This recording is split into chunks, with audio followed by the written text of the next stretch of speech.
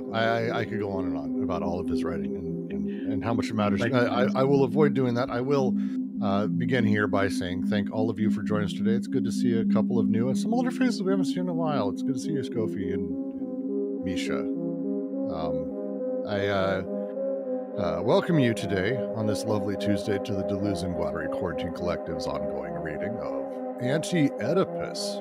We are in our interminable reading of 4.5 um, we have, uh, fortunately, done multiple readings now that is more than two paragraphs in two hours. I'm hoping we continue that rate. That would be lovely. Uh, we are at the bottom of 351. Um, this, let's see. Where do we even start? I actually, I'm just going to start literally from the end of the previous paragraph and talk through kind of what we've sort of been leading up to. Uh, and also, uh, I believe Drew found uh, the reference from D.H. Lawrence uh, that I think is very worth bringing up.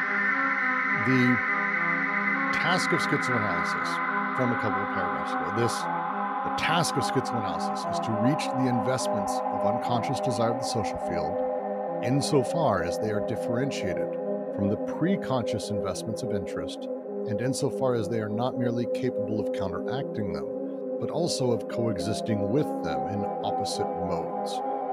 They then go through a handful of bits here, and they bring up, as I was mentioning a bit earlier, Jack, they bring up the pervert, the perversions of them, uh, the the the shifting of how uh, the the law, the structures of society, and the socius are able to be perverted. This play that happens in there it is the job of schizoanalysis to to reach these investments uh, in a way that is differentiated from the pre-conscious, from uh, those elements, and not just simply on their own, but in a way that can be counteracted. they go through a handful of sort of examples discussing the Oedipal uh, essences. One of the lines from uh, Lawrence that ends two paragraphs ago that I was I've been seriously two straight years I've been like well, ever since I've read this, I didn't even focus on it before two years ago. The Gray Gentleman mentioned by Lawrence. The, the sentence ends uh, uh, as long as sexuality is kept conscious, consciously or not within narcissistic, Oedipal, and castrating coordinates that are enough to ensure the triumph of the most rigorous censors. The Gray Gentleman mentioned by Lawrence. Um, Lord D.H. Lawrence uh, referred to his censors literally as the Gray Gentleman. So it's uh, it's, it's it is meant to be just an example of literally what they're saying there. So I've, I've been wondering about that for two years. Thank you so much for finding that reference for me.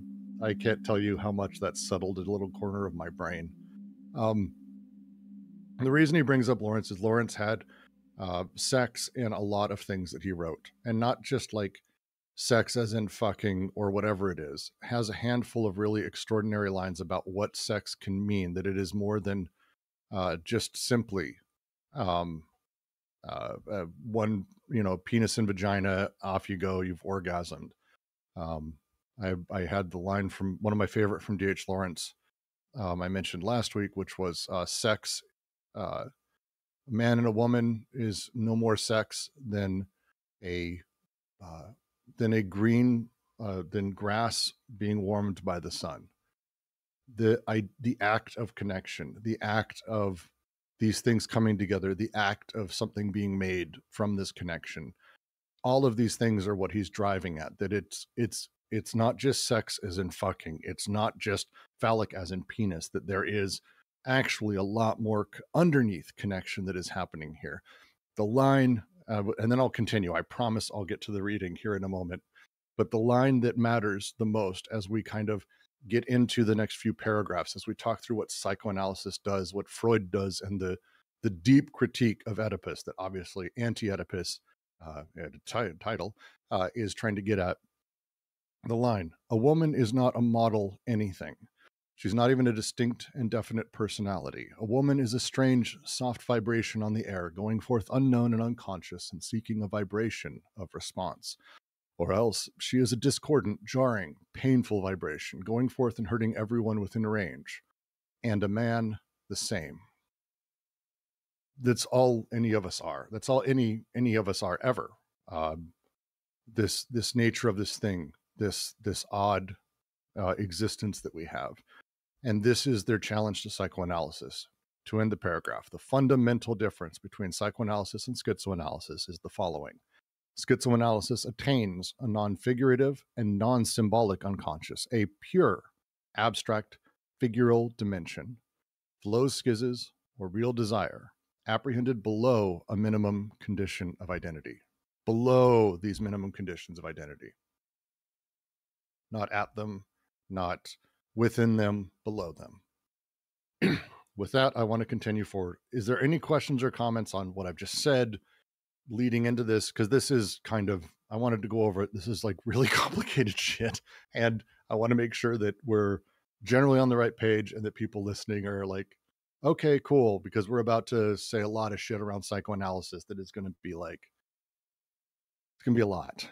Uh, so I'll leave it open for a second if anyone has questions or comments uh, so far on what I've said or what we've read so far in 4.5 or really anywhere in the book up till this point that relates to this ideally. I don't really want to go back and read earlier stuff. Okay. Yeah, I've got one real quick. There we go. I, I like your tie back to the um I mean basically what you're talking about there is you're giving us an example of how woman and man function as intensities, right? Uh-huh. So in that sense, you know, we're talking about the molecular as opposed to the molar. And I think that's helpful here, right? Because it's you know when they go like you said the the task of schizoanalysis is to look at the indices of desire right? So what's happening in the molecular and what's happening in the molar and how the two relate um, as we're discussing. I, I, like your example because it gives us an idea of like there is that um, distribution of um, of the male or the, the womanly however you like um, as an intensity in the molecular. And these kind of things right what happens in the molar is we start thinking about their accumulation and the statistical, right? And they go from, um, like like we said, this unconscious level of um, desire. They go from that to something like the preconscious level of interest. So it's the difference between um, the womanly in that molecular sense, right, in terms of the desires um, more directly, versus the womanly um, in a molar sense where we start thinking about what are the interests of woman. And that's where you start relying on things like um, objects aggregating, right? So the phallus, the breast, those take on this, this um, kind of transcendent role as we've talked about in the past. So I, I like what you're doing there. it helps us kind of take a real instance of that and look at how it's. Um, I'm certain I don't have to spell out how some of these things function in our society but it definitely leads us toward thinking about that. Yeah, it's it's it's getting at um and and they'll be getting deeper into this. It's getting at how Oedipus uh, like bleeds into everything. Even as the line uh, right before this that it's incredibly difficult to de-Oedipalize even nature, even things, um, uh, even landscapes, even any whatever it is. Um, we refer to cars as she trucks is she, but sometimes he, and it's very dependent on very specific coding of trucks, uh, which is silly and stupid. Um, uh, generally, that's even done by the people who demand that trans people aren't real because gender is whatever. Uh, it, we everything gets Oedipalized, and we we do this and we fuck with all this stuff. So, like, why? What do we do? What do we do about this? What does psychoanalysis do? And I will continue now with the reading. Yeah, can I make a comment? Oh, please, please. Yeah, I like the word he uses, uh, this pantheism of, um, you know, uh, flows, you know, present in the in such texts as this. And it's uh, for me, it's kind of an image of the Lacanian. Uh, you know, there's a, a, symbolic order that we operate under, uh, but those are kind of Oedipalizations of the real, you know, flows that are, you know, operating beneath the symbolic, right? It's in the unconscious. This is a non-symbolic unconscious, the pure abstract figuration, figural dimensions. Yeah, so it's correct. It's it's it's trying to get underneath that and trying to get to where the flows are going and what flows are doing, where they're being coded, how, what's affecting them, beyond just saying like, "Oh, daddy, mommy, me," exactly. because at that point it's already coded. Like sure. that's we've got that already, and we kind of know why. We need to get deeper. right. Well, that that, reminds me of the the Rio in in Lacan's uh, you know uh, three orders of three registers. Hmm. Yeah, I would even say it's it's it's intended to go even deeper than that. Lacan, uh, you know, thought the unconscious operated effectively like a language, or that uh, we had a stage of symbols. I think he used the the like a play of symbols in our heads as they're dancing on the stage, and their interaction is is um, much more symbolic than than they're wanting to get here. We're wanting to get deeper. We're wanting to play with flows as they sort of sit, uh, and I'll get to the, this paragraph. I think helps with that, so I'll dive in. what does psychoanalysis do? And first of all, what does Freud do, if not maintain sexuality under the morbid yoke of the little secret, while finding medical means for rendering it public, for making it into an open secret, the analytic Oedipus? We are told, see here, it's quite normal, everybody's like that. But one continues to embrace the same uh, humiliating and degrading concept of sexuality, the same figurative conception as the censors. It is certain that psychoanalysis has not made its pictorial revolution. There is a hypothesis dear to Freud. The libido does not invest the social field as such except on condition that it be desexualized and sublimated. If he holds so closely to this hypothesis, it is because he wants above all to keep sexuality in the limited framework of Narcissus and Oedipus, the ego and the family. Consequently, every sexual libidinal investment having a social dimension seems to him to testify to a pathogenic state, a fixation in narcissism, or a regression to Oedipus and to the pre Oedipal stages, by means of which homosexuality will be explained as a reinforced drive and paranoia as a means of defense. We have seen, on the contrary, that what the libido invested through its loves and sexuality was the social field itself in its economic, political, historical, racial, and cultural determinations. In delirium, the libido is continually recreating history, continents, kingdoms, races, and cultures. Not that it is advisable to put historical representations in the place of the familial representations of the Freudian unconscious, or even the archetypes of a collective unconscious. It is merely a question of ascertaining that our choices in matters of love are at a crossroads of vibrations, which is to say that they express connections, disjunctions, and conjunctions of flows that cross through a society, entering and leaving it, linking it up with other societies, ancient or contemporary, remote or vanished, dead or yet to be born. Africa's and Orient's always following the underground thread of the libido. Not geohistorical figures or statues, although our apprenticeship is more readily accomplished with these figures, with books, histories, and reproductions, than with our mommy. But flows and codes of socius that do not portray anything, that merely designate zones of libidinal intensity on the body without organs, and that are emitted, captured, and intercepted by the being that we are then determined to love, like a point sign, a singular point in the entire network of the intensive body that responds to history, that vibrates with it. Never was Freud more adventurous than in Gradiva. In short, our libidinal investments of the social field, reactionary or revolutionary, are so well hidden, so unconscious, so well masked by the pre-conscious investments that they appear only in our sexual choices of lovers. A love is not reactionary or revolutionary, but it is the index of the reactionary or revolutionary character of the social investments of indicators, this time unconscious, of the libidinal investments of the social field. Every loved or desired being serves as a collective agent of enunciation, and it is certainly not, as Freud believed, the libido that must be desexualized and sublimated in order to invest society in its flows. On the contrary, it is love, desire, and their flows that manifest the directly social character of the non sublimated libido and its sexual investments. Uh, it's a gigantic paragraph. My favorite is the ones that hit three pages. Um, let's go bit by bit. This is this one might take. Um, this is going to be a long one. Uh, opening here.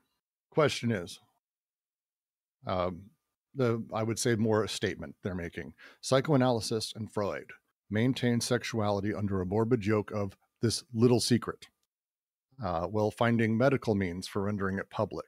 Uh, the little secret being fucking, while rendering it public via medical means, uh, via psychoanalysis, via uh, uh, medical determinations of mental health. That, oh, um, uh, homosexuality is uh, oh god please don't clip me out of i'm just stating what they're saying these things did which is fair because psychoanalysis did this shit um, homosexuality uh, you know we don't want to talk about two men having sex with each other that is that is a no-no it's terrible but homosexuality as a medical determination is because ultimately they have not been able to accept x and they've got to do y uh, they use the example here specifically of the paranoia uh, that is created by the reinforced drive that homosexuality is.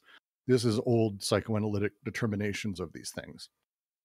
This play that's happening as they're talking about opening here is what they are talking about from the beginning that psychoanalysis does, that it places us in this spot, our subjectivity, it places our sexuality, it places desiring machines and desire itself under the yoke of this gross little thing called sex that is really only about fucking, but we don't want to talk about that.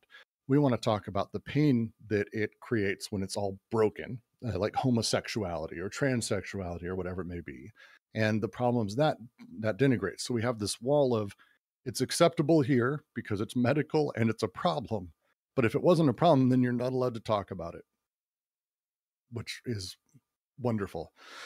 Uh, I mean that sarcastically um, this this thing that they then do, they turn around and they say to us, uh, "Hell, see here, it's look, it's quite normal for you to have these weird desires. Everyone's like that, but."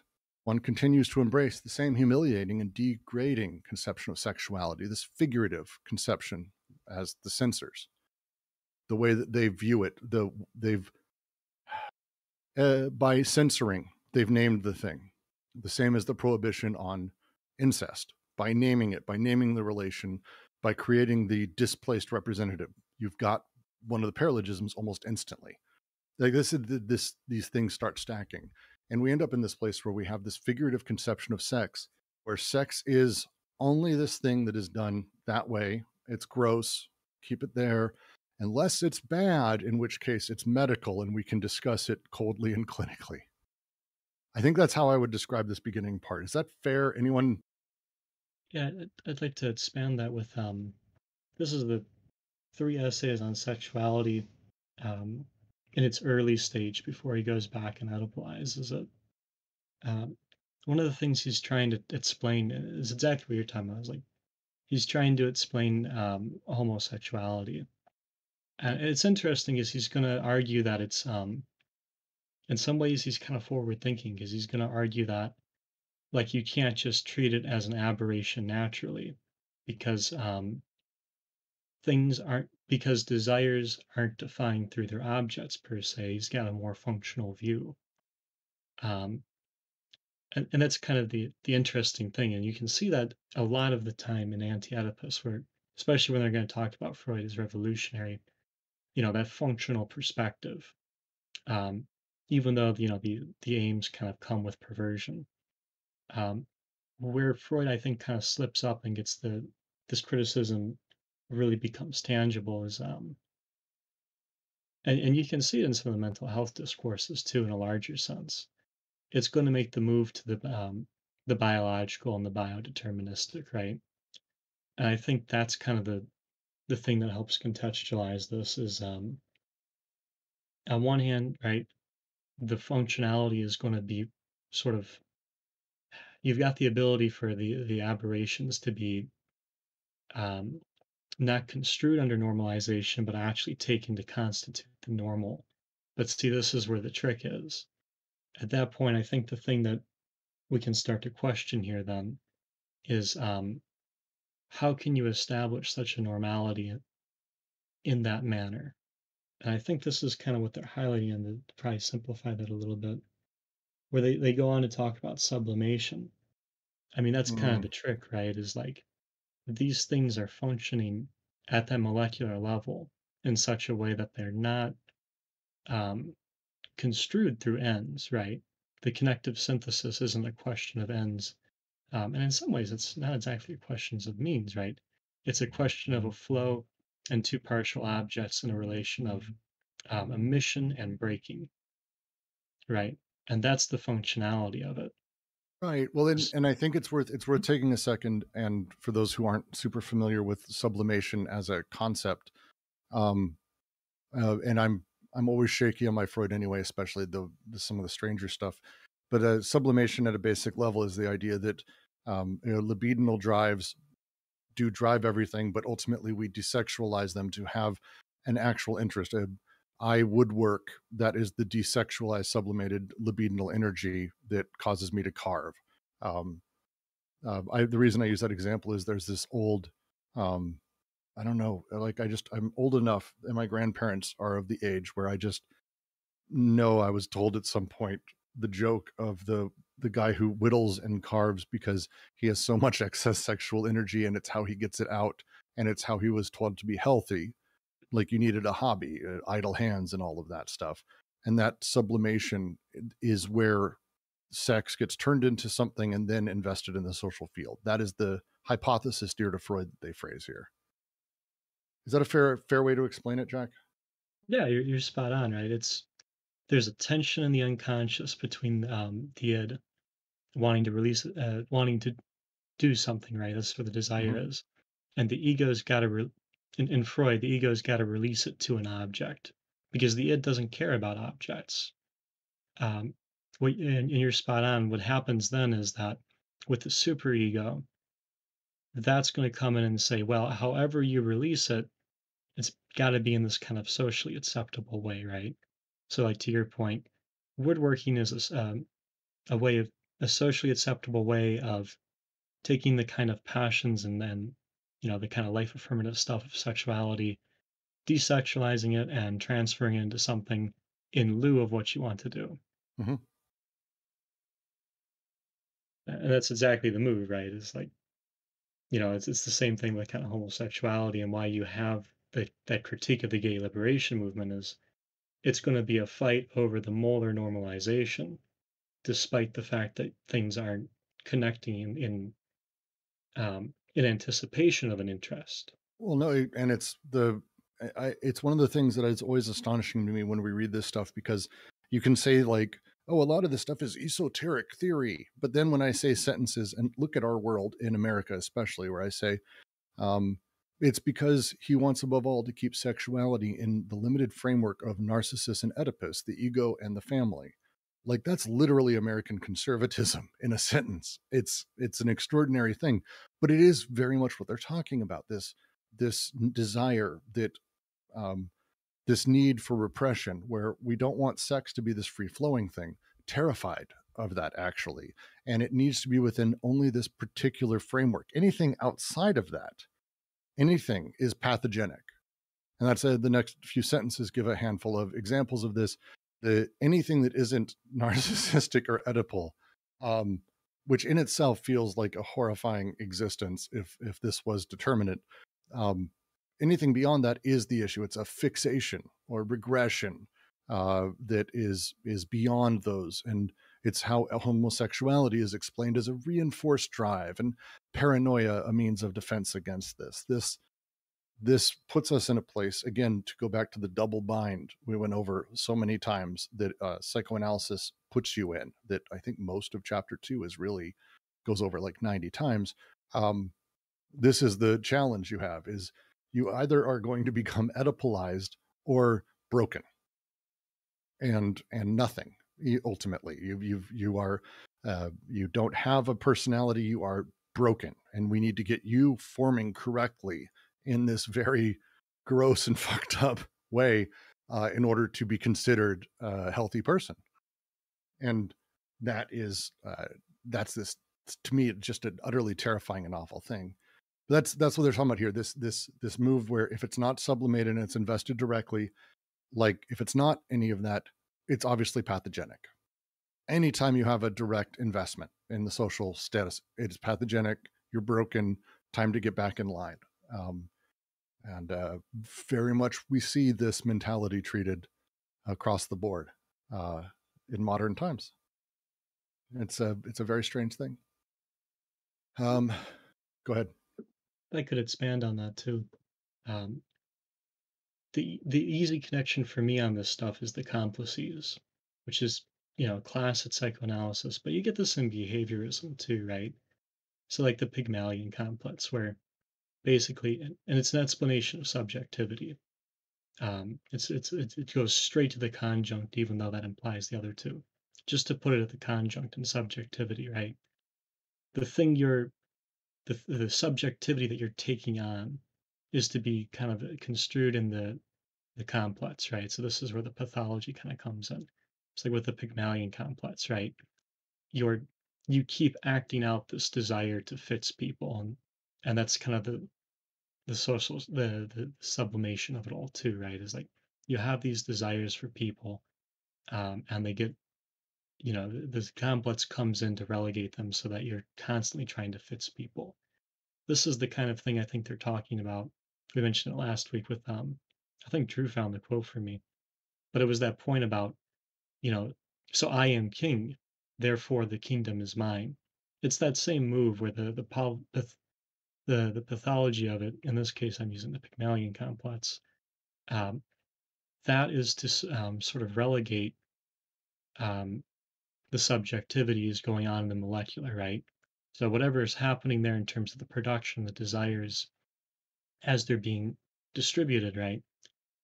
The complex can come in to say, well, sure, but they all aggregate in this way. So therefore, right, it's going to look this way, and this becomes a way of kind of, um, we've said it before this way, right? It kind of becomes a way of limiting desire at the molecular at the molecular level through this kind of um, well, it tends to look this way. This is that point about the normalization they're making, right? Tends to look this way. This is how we start getting to that censor censorship, right? So in that sense, the Pygmalion complex can become socially acceptable so long as those other desires um, are, I mean, they use the term defense mechanism here, right? But, mm-hmm. you know, are sort of cut off in a, in a manner of speaking, um, fit into the apparatus or in that sense of what is the dispositive.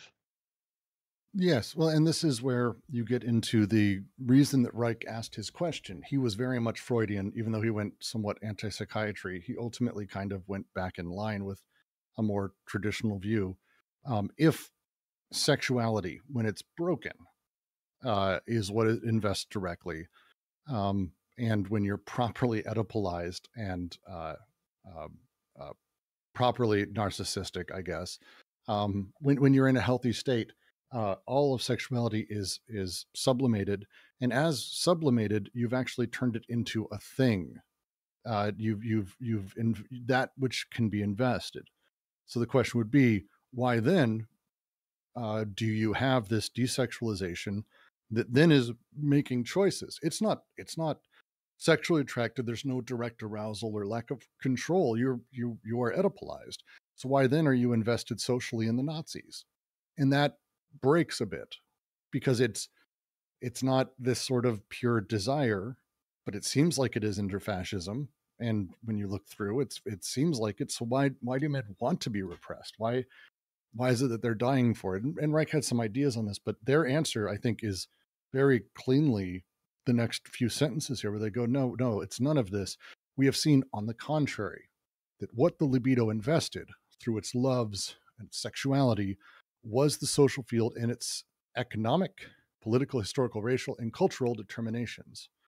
This the whole book has been pointing out how the libido invests directly in these things, how uh, the intensities of them are are quite real and quite significantly invested. In delirium, the libido is continually recreating history, continents, kingdoms, races, and cultures. These investments uh, that the libido and sexuality is taking um, ultimately through this sort of uh, process in delirium, which again, remember, is uh, delirium is uh, social, first of all, political, and it is the beginning of sort of the social elements. It is the collective uh, fantasy, you might say, um, is continually recreating history, continents, kingdoms, races, and cultures. The libido is constantly doing that. It's invested in them and then recreating them. Um, and they they want to make clear then, well, well, but wait, we're not doing the thing where we're replacing uh, familial representations with historical representations. That's not necessarily even good. And we're not even going at archetypes of a collective unconscious. This is not any of this. But the point is, it is merely a question of ascertaining that our choices in matters of love are at a crossroads of vibrations. If you go back to the soft vibrations of man and woman and person and everything that I read from D.H. Lawrence, this is their reference, which is to say that they express connections, disjunctions, and conjunctions of flows that cross through a society, entering and leaving it, linking it up with other societies, ancient or contemporary, remote or vanished, dead or yet to be born. This is, uh, if you want to talk about why people do what they do or why people desire their own repression or whatever the fuck they are, the society they live in, what do they believe? It is a matter of ascertaining that our choices in matters of love our choices in matters of love, ah, fucking great phrasing, are at a crossroads of vibrations. Um, they express connections, disjunctions, and conjunctions of flows that co- cross through a society. Flows, entering and leaving, linking it up with other societies, ancient or contemporary, remote or vanished, dead or yet to be born. Africa's and Orient's always following the underground thread of the libido. Not geohistorical figures or statues, although our apprenticeship is more readily accomplished with these figures, with books, histories, and reproductions, than with our mommy. Uh, it's a little jab at how good mommy is at actually teaching us these things. But flows and codes of Socius that do not portray anything, that merely designate zones of libidinal intensity on the body without organs, that are emitted, captured, intercepted by the being that we are then determined to love like a point sign, a singular point in the entire network of the intensive body that responds to history that vibrates with it. Jesus, long sentences. Um, this is not about figures or statues, uh, although those things help us. Books help us, histories, reproductions help us understand and have those. We're, we're able to invest in them more cleanly, for sure. They help us. I'd help, I think, would be another way of saying speed along the process in this case. Um, but it isn't those things that we actually are in love with, uh, but flows, codes of a socius that portray nothing but only designate zones of libidinal intensity on the BWO. This is actually where our investment sits. this is actually where we all we happen to desire. This is actually where we're attached. It's where our sex goes, all of our non human sexes. That would be the phrasing I'd put around that. Um, I I quite like it too because like I, sometimes I like to compare this to like phenomenology and that. And when I see like something like choice, that's exactly where my mind goes is, you know, why are we making the choices we do? And there's a whole discourse of responsibility and, and intentionality there and all that. And I think Deleuze Guattari's point is right. Um, when you're making choices, it's not as though you do them outside of a context, right? Even when you're thinking about something like interests, right? Those interests exist in a social field and have been produced. Um, and this is their point about the, the connections, disjuncts, and conjuncts, right? That stuff's um, been fashioned, just like you've been fashioned in the subjectivity, right? Any choice made at a conscious level, for at least as I read Deleuze Guattari, is preceded by this this this whole series of productions. So this is to say, right, you that idea of like, well, I can be free in my mind. No, you can't, right? um, because you've been produced, right? And all these things that you're selecting from, and if you want to rationalize, they themselves have been produced, right? It's not to say it's deterministic. It's the, you know, this doesn't negate choice. This means you have choice under these conditions. And I think that's always critical too, right? Like, because they criticize biodeterminism and, and psychoanalysis, and, and rightfully so. in the same way, right? They're not arguing that um, production is that same kind of determinism, right? Just like with the index of love, the kind of choice you would make, right, is tied to one of these indices of reactionary and revolutionary investments, right? It exists in the social field, and it's part of how you're produced. So any choice you make is tied to that. Under, you know, again, under these conditions, one can have choice. And the way that we sort of have the love happen, what what the singularity is, it's it's a really fantastic phrasing they have here. It's worth sort of going through slowly, but the example they give, I think, is almost uh, I mean, it's it's fucking expert level as far as I'm concerned. Um, these flows and codes don't portray anything; they designate zones uh, that are emitted, captured, and intercepted by the being that we are then determined to love. Like a point sign, a singular point in the entire network of the intensive body that responds to history that vibrates with it. The phrasing there, determined to love, I, they mean very explicitly. Um, we need to remember how we sort of uh, need to do away with the sort of traditional conceptions of choice, even uh, as you start getting more into the uh, ontology that DNG are putting forward here. The love of all of these things, the love of this singularity that is this person, whatever it may be, it's not even necessarily a choice um, not in the way that we understand it or talk of it.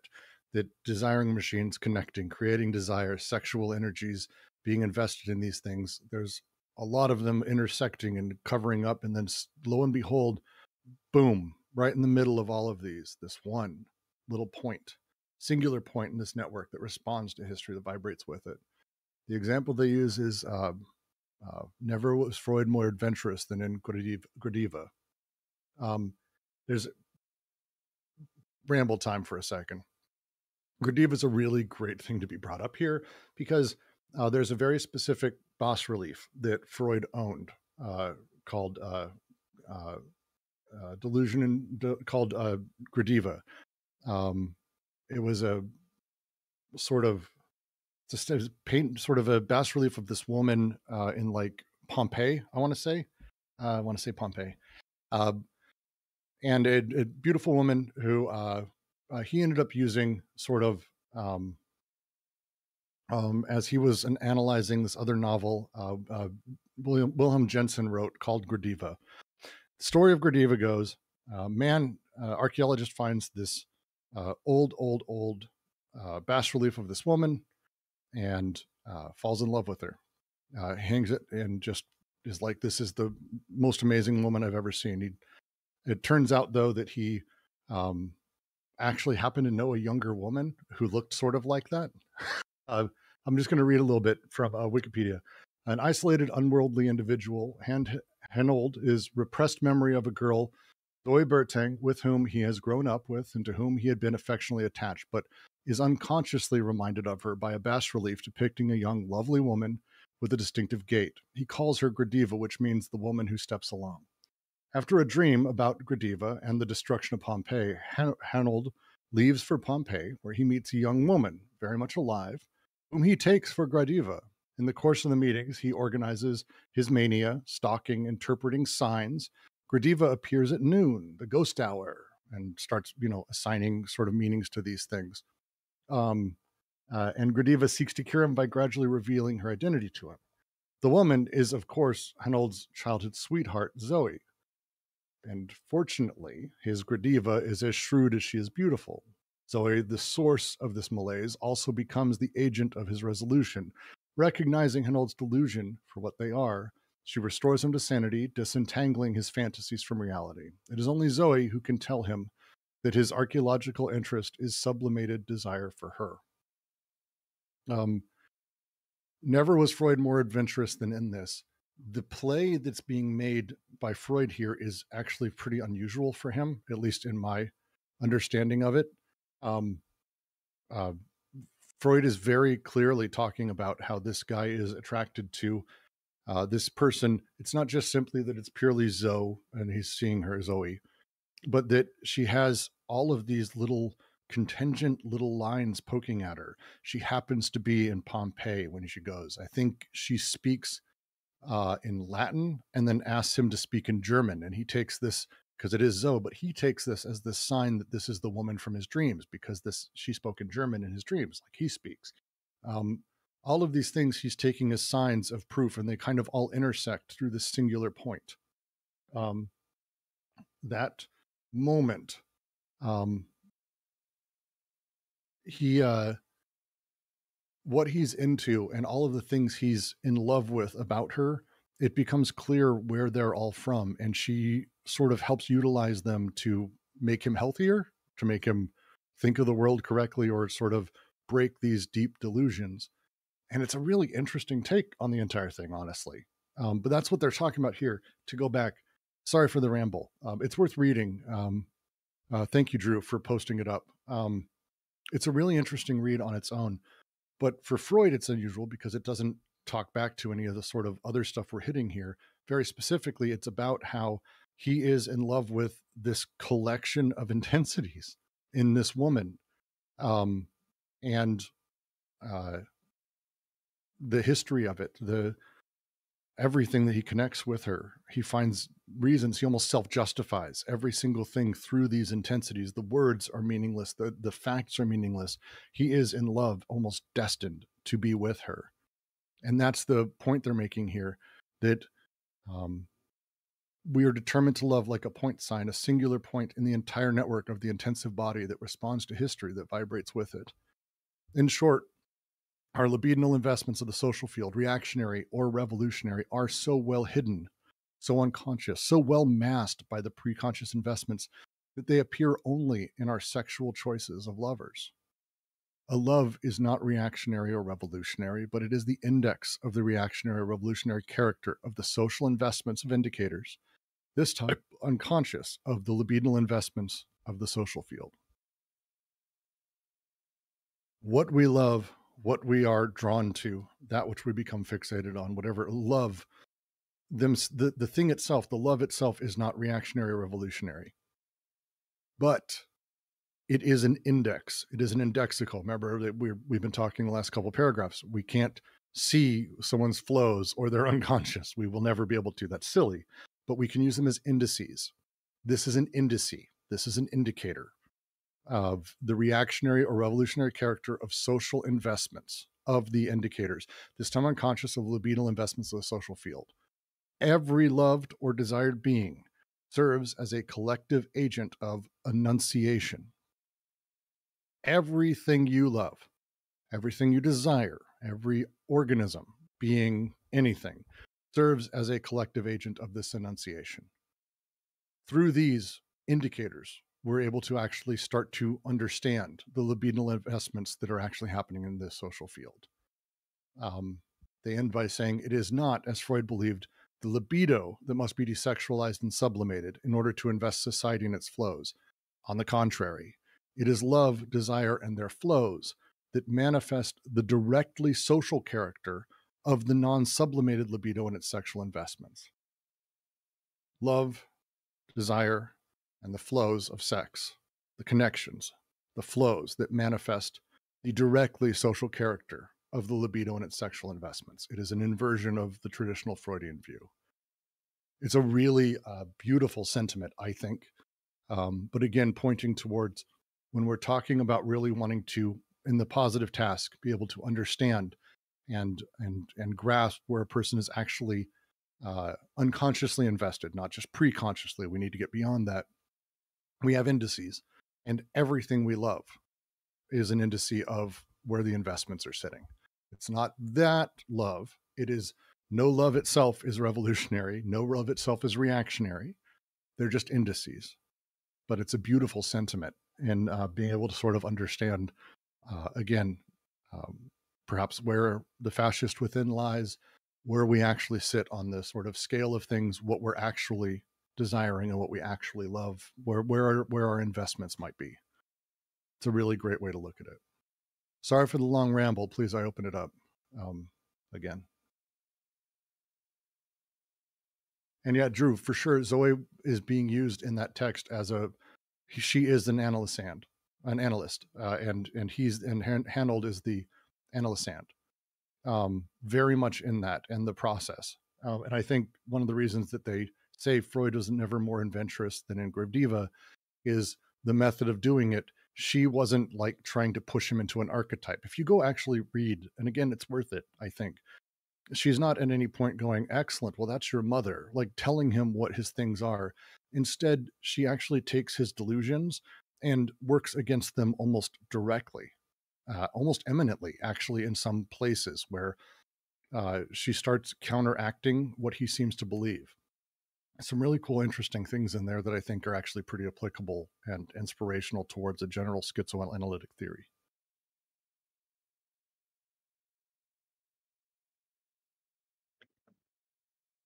I like it too because it, I mean, how they're understanding love, I think, is really important because it's similar to how do they understand delirium, right? So you don't have, you know, we've talked about the polarities, but I think the thing is like how they kind of mix together, right? And I think, you know, we see that with um, schizophrenic and the paranoiac that, you know, the way they're interacting and the way those kind of things those energies sort of um, collide, if you like. That's part of the productive thing, right? That mixture of them. Um, and that's part of the delirium, right? Between the, I mean, it is the truly the between of the molecular and the molar in that sense, right? Um, I like that they're expanding that into love because I think, I, I one, I like that it's not a a, um, a purity because I think that would be um, it's an easy way to cheat, right? Is what we just need to love something. Their point is that finding those loves because they're an index, right? That index will include the reactionary and the revolutionary, just like the delirium includes the schizophrenic and the paranoiac, right? And that's the critical thing, right? When somebody, and I think of that Myr- Murnau film, um, Phantom, right? But when somebody's, in this sense, right, easiest one of the easiest ways to find um, the index of love is to look at what, in, in this case, who somebody loves, right? You can start, um, I mean, collecting, I guess, collecting what these investments are, you know. How is the reactionary expressed in this? How is the revolutionary expressed? Um, what are the productions that are being expressed here? Because I think, and I think they state it really nicely at the end, right? this isn't what's repressed, this is what actually does the process of production. Um, at, at, at that social level, right? I mean, it's it's reciprocal, right? So you know, it's it, it goes both ways in a manner of speaking, but right because the social field's there, and this is invested from the social field, but it's also producing the social field as it goes, right? They're co-productive, and I, I quite like that. They're they're so consistent there. Um, and I think they're right. This probably is what is generating what people are doing and what the social is doing, as opposed to being purely what the social wants to sublimate. Well, and name what the social wants to name, which is the other part of this that I think is important. And to go back to Gradiva, uh, at, I mean, it's it's possible my memory's bad, but she, there's no naming of any specific pathology or that he is this or he wants that he he wants this this far off thing of her. Gradiva, He wants her, uh, but his image of her. But she never even names that. I don't think it's. It is much more about getting where he is. His basically his libidinal desires have attached in various points, and and sort of undoing that. Because if we talk about all of these things overlapping, all of these intensities in this singular point in the entire network of the intensive history that we're, you know, intensive history of things, that vibrates with sex, uh, with your sex and your attraction, we actually head in a direction where we're not naming things and we're starting to be able to understand uh, how we escape a little bit more the the the jail of representation where everything needs to be named everything is a thing and therefore as we name it we then define it we create edges. By creating edges we also collapse and crush the desiring machines that are within inside. This frees it. This makes it an additive thing almost that I'm attracted to this because of all of these expanding desires and and things that are are are sort of growing out from my mass of an organism like all of the investments I have are attached it happens to be in the singularity. Well let's find where those are what are you investing and let's start taking that apart and undoing that. It it it shifts the direction instead of trying to say oh you are a homosexual it's oh you you love this person because of x y and z. It doesn't you are a thing is not even something you can even say inside of this framework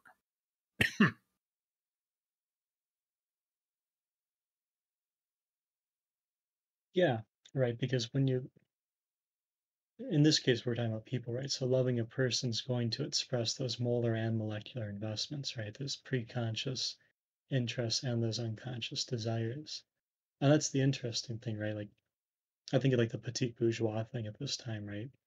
That's one way of trying to get at the investments of a preconscious, right? And you start thinking about the interest playing into um, a love here. But the, I think part of the move here, right? Because I think you're right, bro. This is a way of working through these kind of things, working through the interests. And in that way, well, working through the interests and the desires. And that way, right, we're seeing them as constructive and productive, um, as opposed to being things within the person. Because I think that's one thing too, is like, you know, the classic move in, in, in a lot of psychology and, and certainly in behavioralism psych, um, psychoanalysis is right. You look for a lover um, that uh, expresses your parent. It's that one thing we all hate, right? And it, sometimes it does become the dirty little secret, right? Is like, you know, the, the man is marrying his mother and this woman, right? That's the kind of thing where there's a sublimation going on there. So as to say, he's got these desires for his mother, and he's passed them on to the um, the wife so as to make them socially acceptable. There's your easy um, sublimative move, right? Deleuze and Guattari's point is like in that instance, no, not necessarily, right? I mean, there could be a repression going on there um, through Oedipus, but at one and the same time, right? Those social interests that are being expressed there, um, that is what produces the motherly as opposed to taking it for a regression. Likewise, at the molecular level, what any of those partial objects may be producing in that index, right? That's happening too right? So you get this mixture of those investments as opposed to um, something as easy as saying, well, it's just a sublimation, right? He's just trying to live out the taboo. Please, if anyone has uh, questions, comments, uh, you may speak, or we have uh, the Anti Oedipus chat. Uh, if you scroll up a little bit, you should be able to see it under reading groups. Uh, if anyone has a question or comment, because uh, we're about to finish this and i kind of do want to move directly into the next bit because there's a big play that's happening here as we start sort of moving forward and i want to make sure we get to it at some point this this year i think um, uh, but it, the last sentence here um, it is not as freud believed the libido that must be desexualized and sublimated in order to invest society as flows on the contrary, love, desire, and flows that manifest their directly social character on the non-sublimated libido and its sexual investments. It's um, this is the point of this entire paragraph. It's flipping the Freudian um, idea of uh, desexualized, uh, sublimated desire is what is invested, and saying no, it's actually um, those flows of desire that manifest directly the social character of the non-sublimated libido. It's a it's the point. We're about to get into more of the psychoanalytic theses real fast here. I'll let Ash Ash is uh, going for it. We'll give them a moment. Lost in thought. Fair enough. We will move directly through to the next six pages. Two pages. Here we go. It's a long one and I think this is going to be the other paragraph for the day. So we will take our time through this one. There's no, I think, way to do this one quickly, to be honest. For those looking for a thesis topic on psychoanalysis, one should not suggest vast considerations on analytic epistemology, but modest and rigorous topics, such as the theory of maids or domestic servants in Freud's thought. There are some real indices in such areas. On the subject of maids, who are present everywhere in the cases studied by Freud, there occurs an exemplary hesitation in Freudian thought, a hesitation too quickly resolved in favor of what was to become a dogma of psychoanalysis. Philippe Girard, in unpublished remarks that seem to us to have a wide application, situates the problem at several levels. In the first place, Freud discovers his own Freud discovers his own Oedipus in a complex social context that brings into play the older half brother from the rich side of the family and the thievish maid as the poor woman. Secondly, the familial romance and fantasy activity in general. the fantasy activity in general will be presented by Freud as a veritable drift of the social field, where one substitutes persons of a higher or lower rank for the parents. The son of a princess kidnapped by gypsies, or the son of a poor man taken in by bourgeois. Oedipus was already doing this when he claimed a low birth of servant parents. Thirdly, the rat man not only installs his neurosis in a social field determined from one end to the other as military, he not only makes it revolve around a form of torture originating in the Orient, but also in this very field, he causes his neurosis to oscillate between two poles constituted by the rich woman and the poor woman, under the effect of a strange unconscious communication with the unconscious of the father. Lacan was the first to emphasize these themes, which were enough to challenge the whole of Oedipus.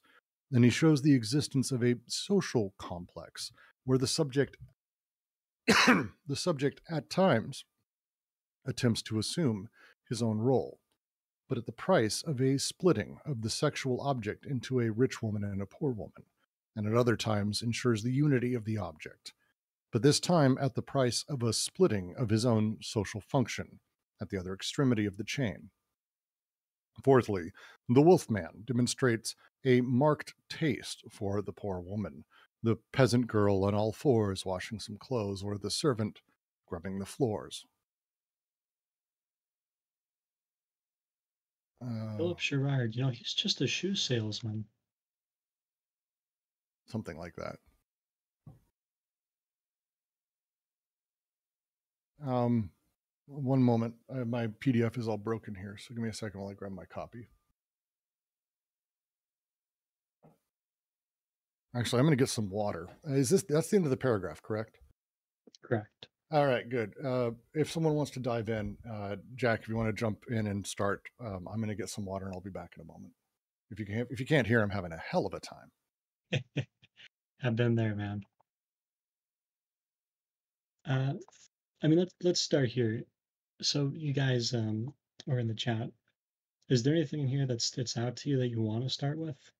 Obviously, they give us a list of four things to go through, but is there anything you guys want to start with?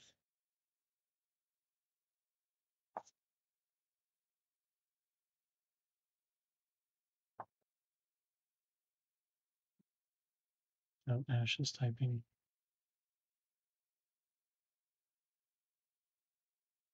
Yeah, so so while you're typing, Ash, keep going. So right, the the point is we're trying to understand these ind- indices, right? These are some real indices in such areas, they write. And the other point is, so we just got done with the criticism of psychoanalysis, but it doesn't inherently do those things. That is to say, it's not always the case, nor must it be the case. That is to say, on the contrary, right, that there are some things like the maid and the domestic servant that function um, with these the indices, right? That we can see these indices um, happening with without risking the Jungian um, move of, going to the archetype any more than presupposing a sublimation. Just like I said earlier, right? The maid doesn't have to be the mother. Right? Or or to that point, right? This rich woman, poor woman, we can start to see how there's a bourgeois and a you know kind of proletarian class interest there or that's one thing that starts to surface there. It might not be all that's going on.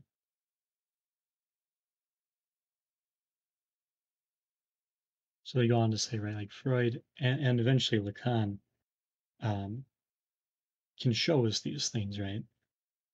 And this seems to me that they're going to focus primarily on Philip Girard, um, who apparently is more than just a traveling shoe salesman. Um, in his unpublished remarks, right, that he seems to be finding um, what Deleuze and Guattari are talking about, in fact, explicating it. So we'll try and go through these four things, right? Uh, in the first place, Freud discovers so called his own Oedipus in a complex social context that brings into play the older half brother from the rich side of the family and the thievish maid as the poor woman. So, right, we can see that there's, and this is the theme, right, is there's a splitting. As much as that's Kleinian, they'll go on to say there's a Lacanian piece to that too. But in that sense, right, the rich side of the family, and then the thievish maid is the poor woman. So we've got two things established there. The familial romance and fantasy activity in general will be presented by Freud as a veritable drift of the social field, where one substitutes persons of a higher or lower rank for the parents. So find just following that right. So there's um there's these two things constructed, right? uh, the kind of the bougie woman and the thievishly poor woman, or maid, as they say. And this is going to go into the social field where the person, in this case it appears to be Freud, um, substitutes both of those for the parents. So, right, this is kind of where you know, we talked about the socius and where capital comes in, and then there's the familial simulation, right? Because in capital, as socius, you don't have um, the way the kinship is going to work is it's going to work through money, basically, right? We're tracking how money moves both vertically, that is to say, in declension, and horizontally as it moves in the political and the economic. So in this case, how that moves is then simulated into the familial, because the familial relies on the social, rather than the social being construed through the familial. So in this case, right, you know, again, that kind of interest level of there's that the wealth and then there's the poverty. This speaks to us to some social investments and certainly some some interests, I would say immediately. But it also speaks to how it's going to simulate the familial. Because by talking about the bougie and the proletariat in that sense, right, we're already presupposing finance. You guys with me so far?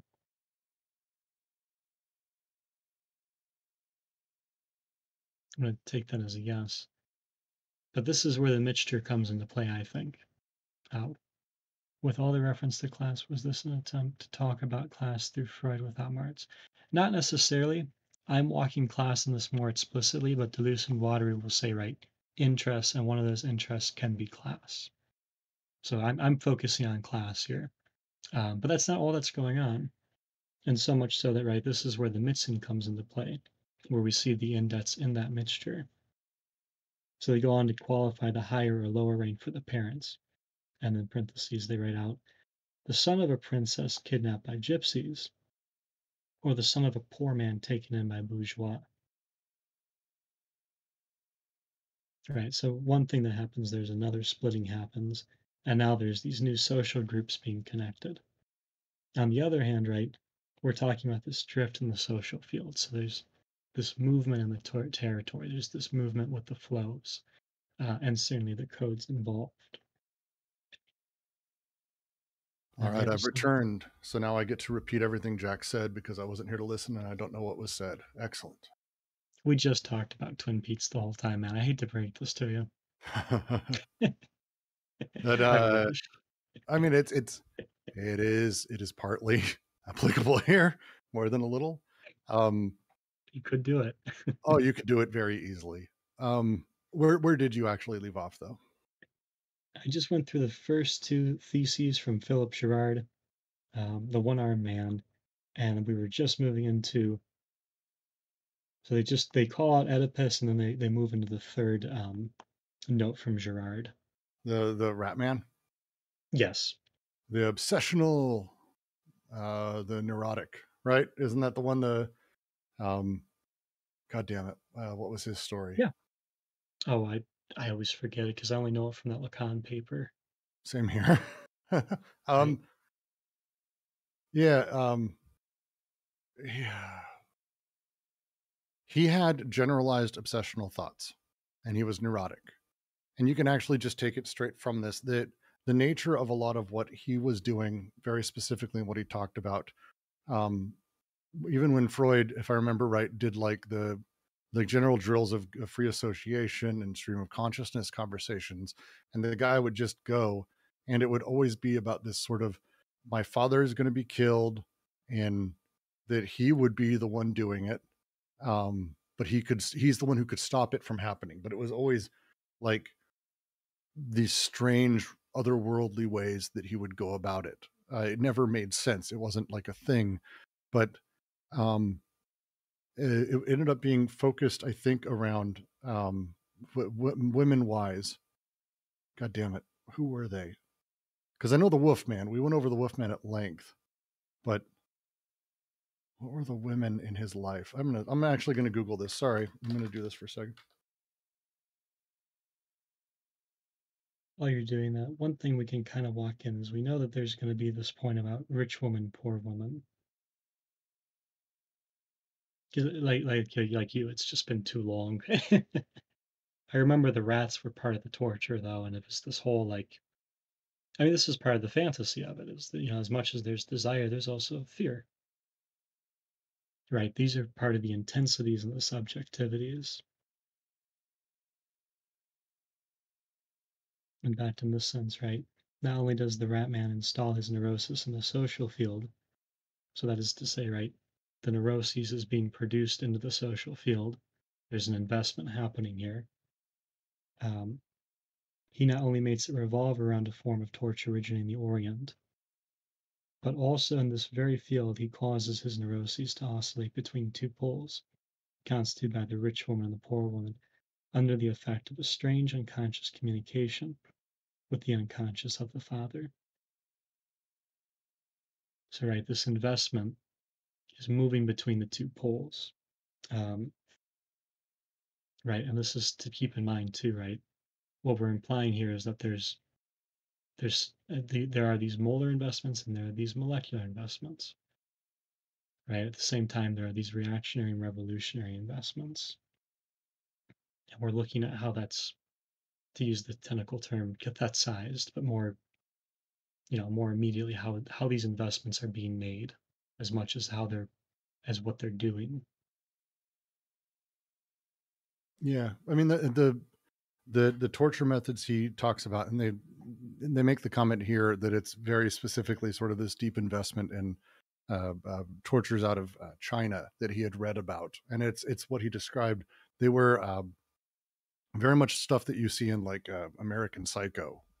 It's all, all I could think of. It's the same scenes, uh, strapping a rat to uh, his his ass, and and making it hungry so that way it would eat and kill him, go out, go into him through his anus.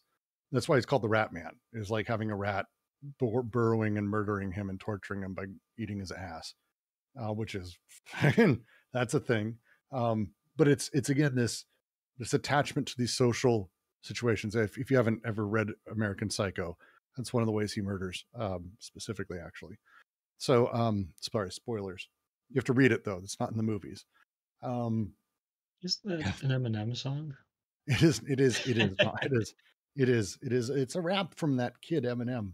Um, no, it's it's it's that's why they call him the Rat Man. The the push towards um, uh, rich woman, poor woman, um, it plays with how his his dad was seen. His dad died, and he would leave open his door in the morning for his dad to come visit as a ghost. It was all of these things, but again, his his neurosis is determined ultimately as military. These things are attached and invested socially. That was the point of this.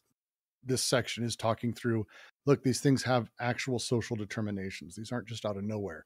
The fourth, Wolfman. Wolfman totally is all over like this uh, the servant girl, the poor servant girl who he could not get out of his head as like the sexual object. We're just going to move straight to her, uh, straight to him because it is, I think, easier um, to sort of talk through. Um, uh, but that's the the wolfman demonstrates a marked taste for the poor woman, the peasant girl on all fours washing clothes, or a servant scrubbing the floor. These things that he was invested in, it's a very specific social investment that they're attached to, that they're sexually desiring. And that's the, the point I think that is trying to be made here is the investments are not um, you know this weird desublimation that then becomes attached and sort of has these things it connects to but instead there's a social field uh, a singularity that is being directly loved or connected with by the libido, libido itself that is causing these elements that is actually um, sort of the underlying thing here he's going through a handful of examples is, is how i read this this paragraph at least as a handful of examples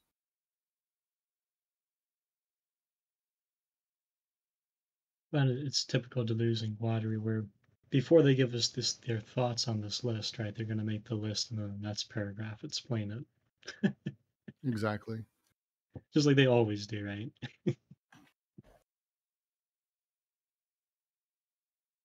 but I mean, to your point, like even with the peasant girl, right? There's we can see the implications of codes as much as point signs there, right?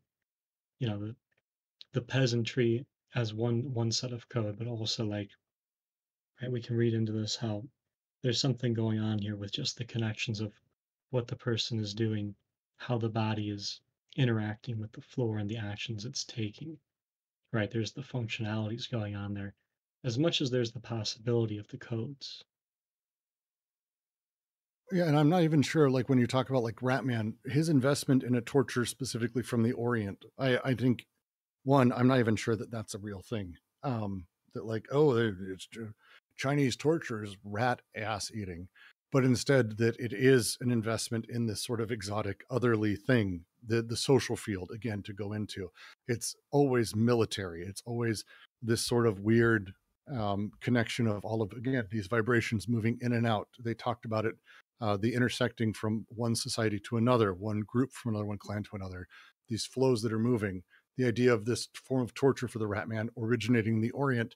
Is it that he's attracted to the torture and the rat, or the idea of the Orient and the thing he's constructed around it to go back and talk through, as we were just doing with uh, Gradiva? Like, it's not even necessarily real. It's the attachments that he's got in all of these ways to these sort of social historical investments that his libido has that makes these things and makes these neurotics uh, sort of uh, reactions to them. I think is more of a push that they're making here. I think. I think.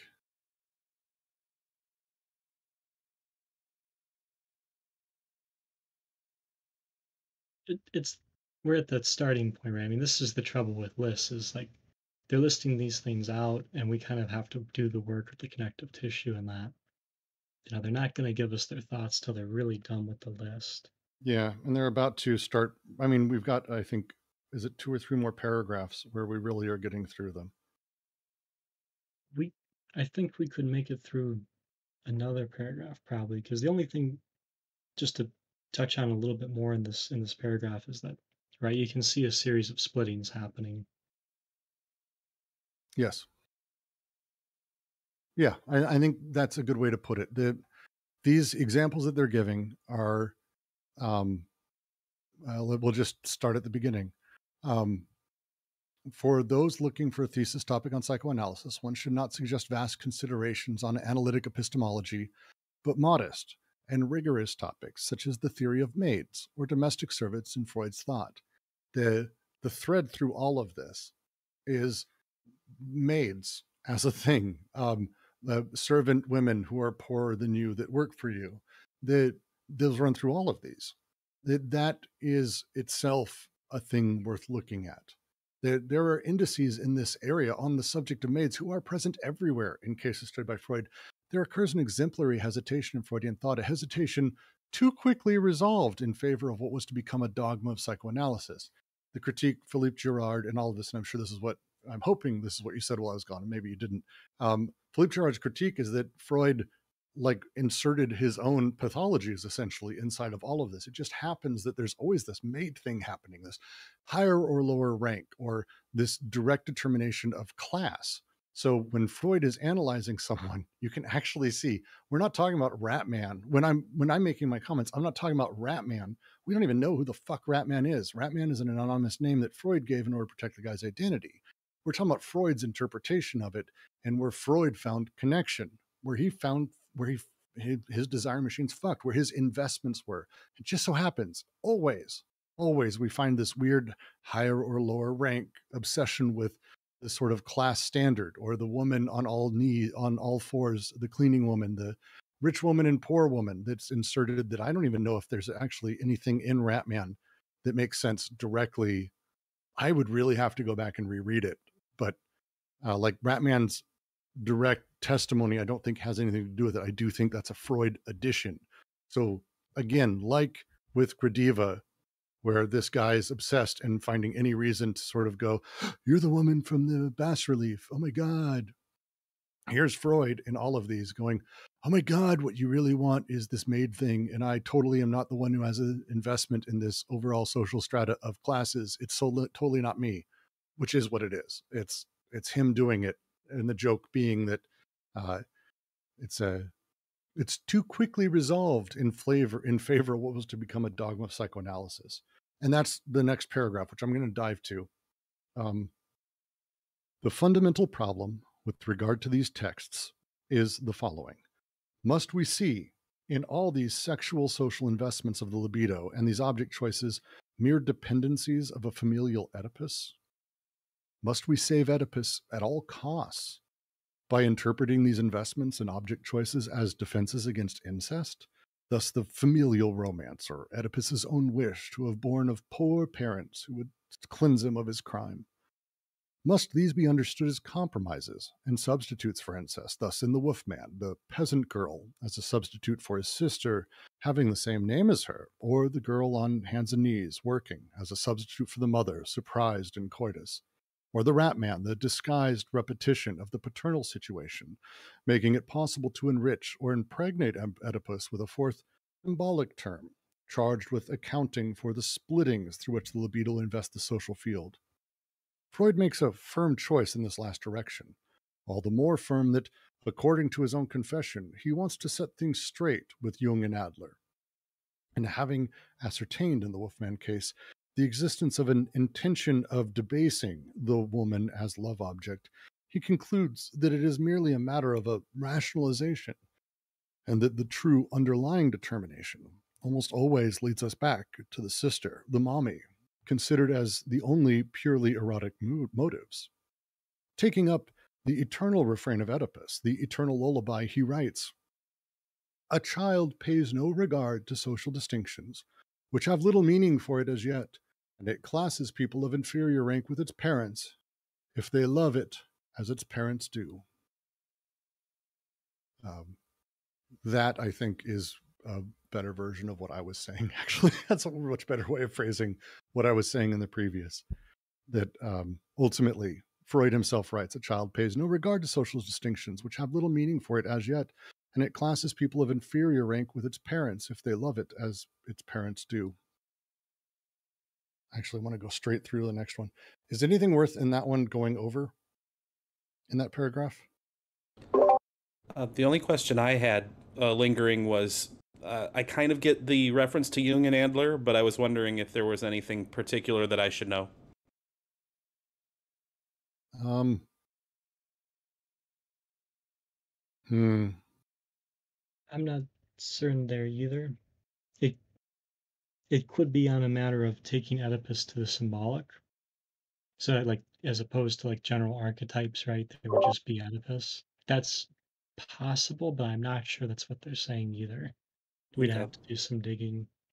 Yeah, that's what I was thinking, but uh, I figured I would ask just in case there was something known.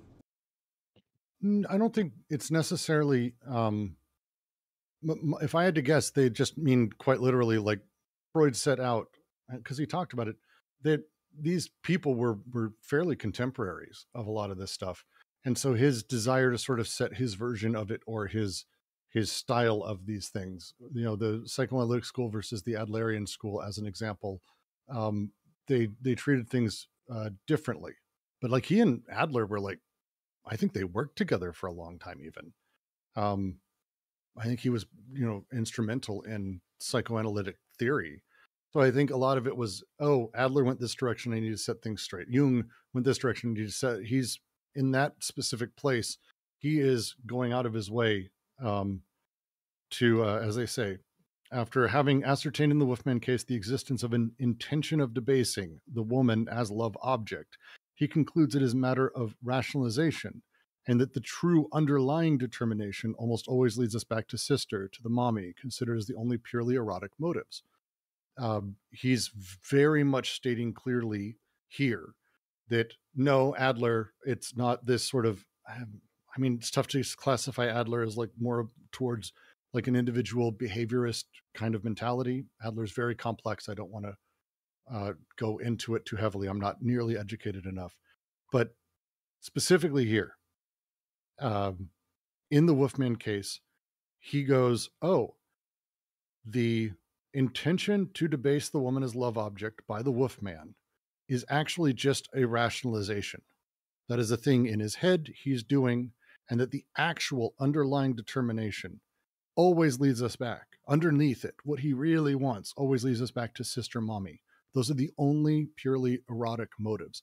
He very cleanly is saying the only thing we ever are sexually attracted to is mommy. And it always leads us back there. And that's the that's their underlying again critique of all of this that things lead back but it's they're being very clear he's stating that is what oedipus always leads us back to. He did which is fair he did he did say that and and have that conversation.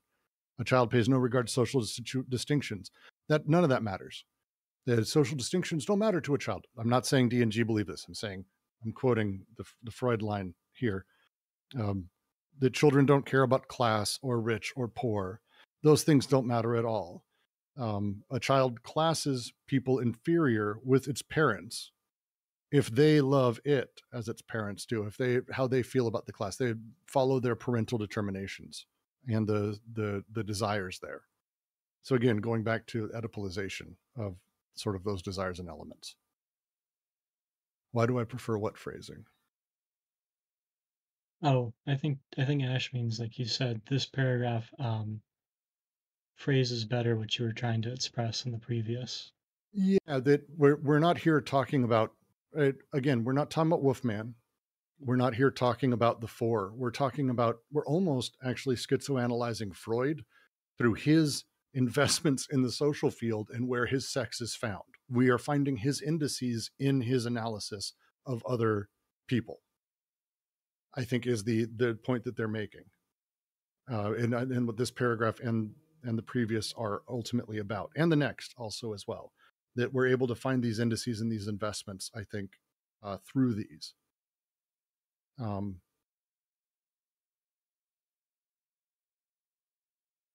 I, I kind of want to go right to the next because it, it does continue this. I just want some uh, clarification on this. That Please. are, are they saying that it is Freud who is making these um, uh, these kind of um, you know statements that uh, about the these four examples are are examples of um, uh, substitute uh, substitute and compromises for for incest.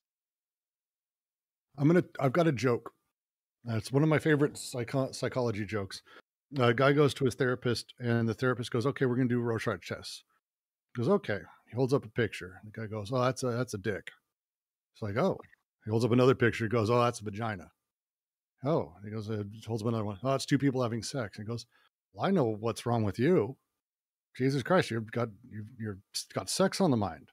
Patient looks at him and goes, You're the one drawing the dirty pictures. that is kind of what I think they're saying here, that Freud is the one saying, like Freud's the one drawing the dirty pictures, kind of. That because he actually is. He's giving us these stories, and his filter that we're getting them through, his investments are actually coming through fairly crisp in this. Mm-hmm. Um, and so when we talk about what his investments were in class, again, Freud specifically, if you want to talk about his contingent e- existence, um, it's worth going back and reading his history of being born in this hyper bourgeois, uh, you know, semi upper class family with servants, with maids specifically. Uh, there's some stories there. He's got a bunch of shit going on, and how he carries these things forward. It's not so much about saying, "Oh, he he he had maids when he was younger, so he's got maids now." No, it's it's how he was invested socially in all of these different elements through all of this. Again, if we want to find the indices, find out where the desire is sitting, and that's what we're doing now, talking about Freud. And this previous this paragraph I just read says that a lot cleanly, more cleanly than I do. I think um, the the phrasing uh, that they open the paragraph with.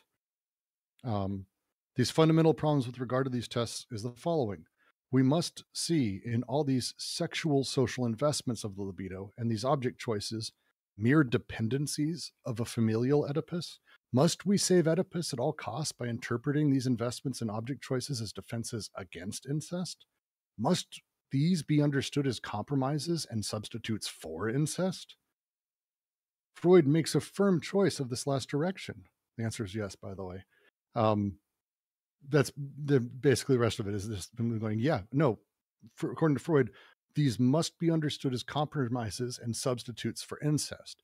The Wolfman rationalizes his desire to debase the woman because ultimately it's about his mom. Um, so I'm going to read the next paragraph now. Oh, real quick before. Sorry, go ahead. Oh, no problem. Yeah, the one thing I wanted to say there is that as I'm reading it, on one hand, there's the, the Freud bringing in the Oedipus side of things. There's also Freud bringing in the maid side. Um, I, I think this is how they're trying to do this is like that aspect of the, re- the repressing representation, right? This is where they're trying, this is where they're locating it, right? In Freud's reading of this. At the same time, they're seeing in Freud's reading uh, this point about the maid. And I think that interaction is part of how we're seeing a lot of this repression taking place too. Because I I think what they're saying is that you do have the splitting and that happening, and this does relate to indices at one and the same time. This repressing, you know, Oedipus is coming in as a rep- form of repression upon that, right? I think that's how they're trying to lay it out. I have well, to I have no, to finish it, these like I'll continue that. To really see I'll, it I'll continue that because it's the the mark that's happening here is Freud is saying no, it is about the mom because kids don't give a shit about class. Like, uh, let me just put on my Freud mask for a moment. Hello, uh, kids don't care about class or poverty or who's lumpen proletariat or bourgeoisie. They don't even know those words. They know the word mommy. And, you know, if the parents treat the poor as shit, they probably also treat the poor as shit or if uh, they see dad fucking the maid, they totally want the maid. Like it's their relationship with all that. It's always through mommy daddy and really is about their relationship with mommy daddy. That's kind of how Freud ran with it and went very hard with it. A child doesn't care. They love these things as their parents do. And ultimately, all of it is a, sub- a substitute for uh, incest. But maybe, maybe, hmm, taking Freud mask off now, uh, maybe it's actually not those things, but maybe that's what Freud called them and names them. And maybe actually these things flow through the parents. Maybe he was actually close, but not quite there. Maybe he just didn't quite go far enough. Because, to continue, we always fall back into the false alternative where Freud was led by Oedipus and then confirmed in this position by his controversy with Adler and Jung. Either, he says, you will abandon the sexual position of the libido in favor of an individual and social will to power, or in favor of a prehistoric collective conscience. Or you will recognize Oedipus, making of it the sexual abode of the libido, and you will make daddy mommy into the purely erotic motive. Oedipus, the touchstone of the pure psychoanalyst on which to sharpen the sacred blade of successful castration. Yet, what was the other direction?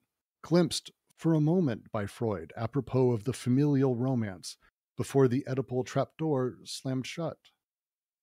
It is the direction rediscovered, at least hypothetically, by Philippe Girard. There is no family where vacuoles are not arranged, and where extrafamilial breaks are not manifest, by means of which the libido is engulfed in order to sexually invest the non familial, i.e., the other class, as determined under the empirical rubrics of the richest and the poorest, and sometimes both at once.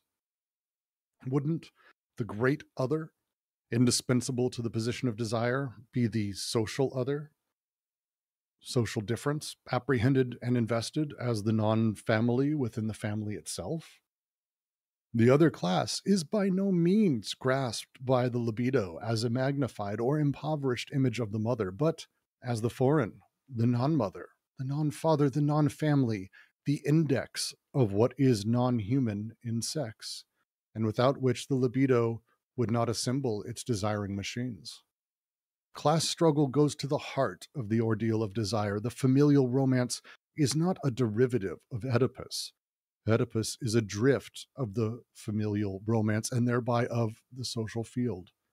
It is not a question of denying the importance of parental coitus and the position of the mother, but when the position makes the mother resemble a floor washer or an animal, what authorizes Freud to say that the animal or the maid stand for the mother, independently of the social or generic differences, instead of concluding that the mother also functions as something other than the mother and gives rise in the child's libido to an entire differentiated social investment at the same time as she opens the way to a relationship with the non human sex.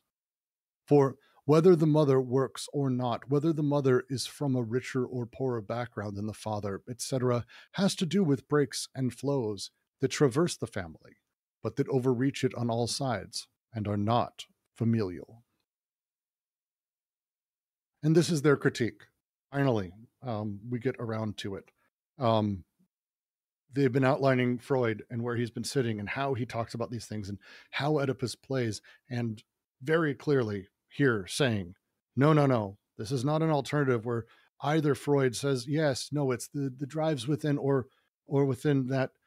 There's no two options. It's not Adler and Jung on one side and, and Freud on the other and he only had those two options. He could have, there was a third option, there was another direction that we saw for a moment. And it's in that last line they use in the previous paragraph. Um, it classes people of inferior rank with its parents if they love it as parents do. You can see a, a glimpse of it there. You can see what, oh, they're, oh, right there. They start screaming almost. This is what we're talking about in this moment the the relations that are flowing through the parents to the child around the family that extend beyond it on all sides the entire social relation that yes the parents may be a filter for but they are not the object of this is it it is the direction as they say rediscovered by philip girard in the previous uh, paragraph we read there is no family where vacuoles are not arranged where extra familiar breaks are not manifest by means of which libido is engulfed in order to sexually invest the non familial, the other class, the richest and poorest, and sometimes both at once. Every family is part of this. Every family is manufacturing, every family is ultimately its own machine doing its own things within these flows and within these breaks and within these connections. I, I leave it open for a moment. I, I want to make sure I stop because we this is a complex one, but I do love I do love the phrasing around this a lot.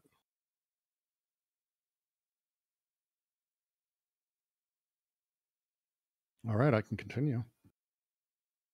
Wouldn't the great other, indispensable to the position of desire, be the social other? Social difference apprehended in investment as the non family within the family itself?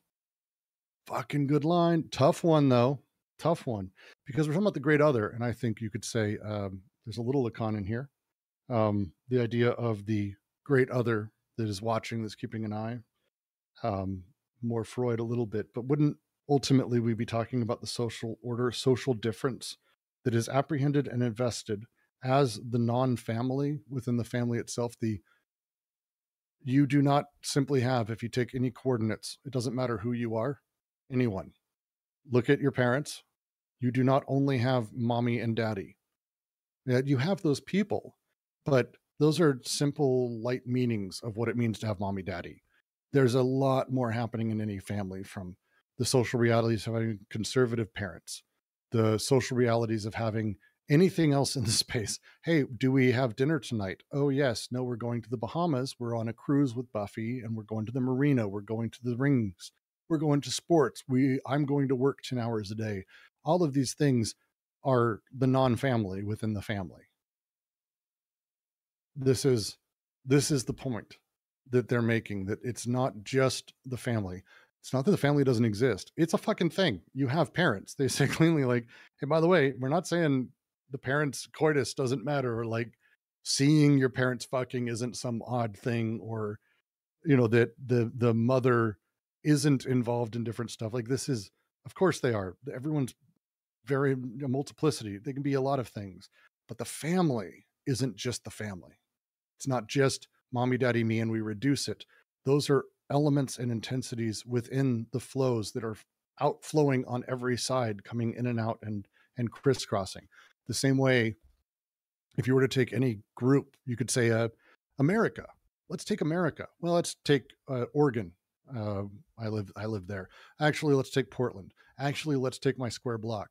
Actually, let's take my na- my uh, house.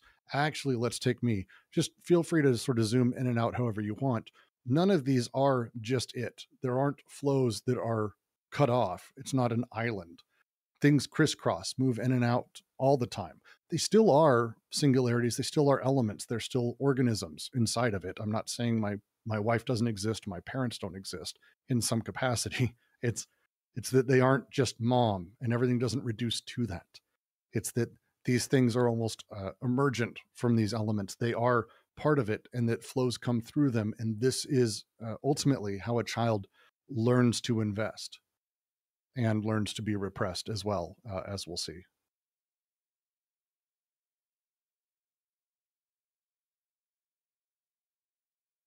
The familial romance is not a derivative of Oedipus.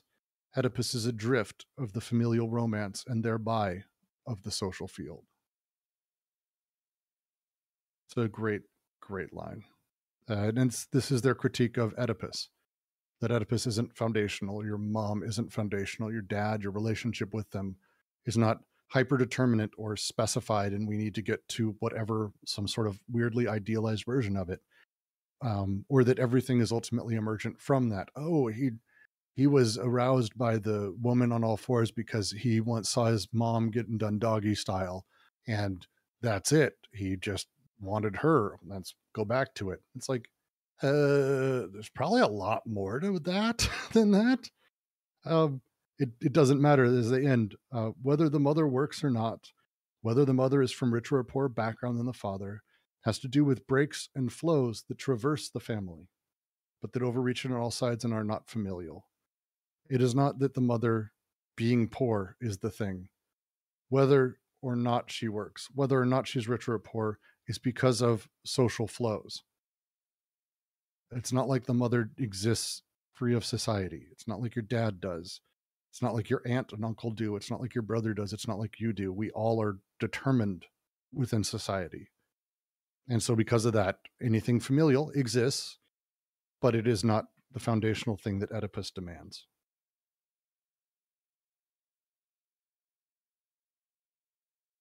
I hope that makes sense. That's kind of the big point of this paragraph and the last few, actually. I think. I get a little impassioned about this one. I this is like actually I get impassioned a lot about I love reading this shit so much. Please, someone talk, words, speak, type.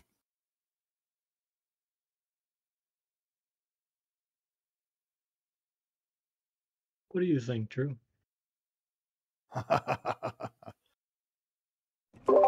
I seriously was just gonna say, um, this made a lot of sense to me. It it fit, and um, the only thing that I, because I'm from sociology, the the deal with sociology is that there's they're constantly subdividing um, person, community, city, state, and there was at least at some point um, the real like the recognition that there is no clear distinction between this is the micro level you plus another person interacting and this is the national level of this is how a country works it's every interconnection or collection of uh, potential network connections from me thinking about myself five minutes ago to the entirety of all human existence. Like, Mhm.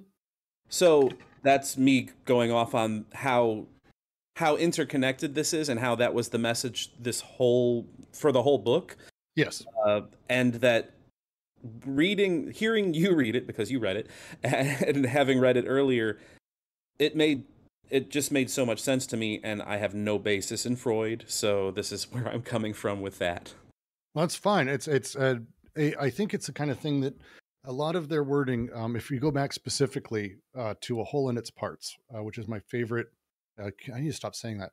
It's such a good uh, section of this book where they describe at length and go through the process of how to think of a th- of, of everything, that everything is a whole and its parts, and that ultimately, you know, when we talk about um, a nation, like sure, these are representations. They're they're things to discuss and they're um, they're good for us to understand uh, aggregates uh, the laws of large numbers as you might say for us to grasp kind of a large scale reality but they're still emergent.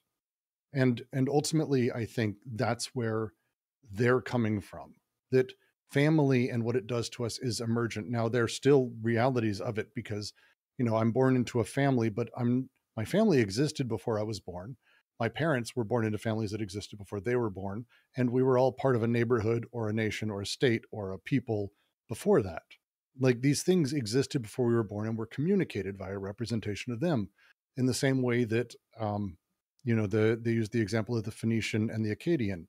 Um, the phoenician uh, has the sound ah for water and so they have the the sort of chicken scratch symbol of an a but they don't think of it as water. They think of it as that sound and they associate the sound with water.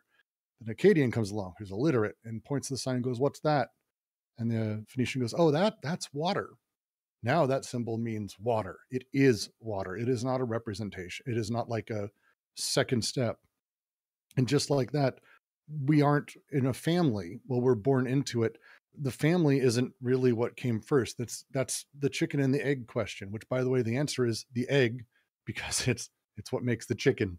Um, but they're also a whole in its parts. It's it's understanding the chain of these events, the way that they're connected, the way that the processes of time manufacture them. And so when the family exists, sure, we want to say, look, a child's raised by two people, but we're divorcing them from everything else that's happening. And we're divorcing them from their realities. And we're also divorcing them from their social positions. And as soon as we start doing that, we start specifying and, and cutting off and separating. And we lose the whole from the whole in its parts. And it gets really it's it gets dangerous to be frank. But yes, I'm glad you I'm glad it helps, Drew. yeah definitely i i also well i'm failing to uh, also read a uh, a thousand plateaus so but um the reference to the wolfman also fits in pretty nicely uh, i think in both texts with this this larger um discussion of you know moving past simple aggregates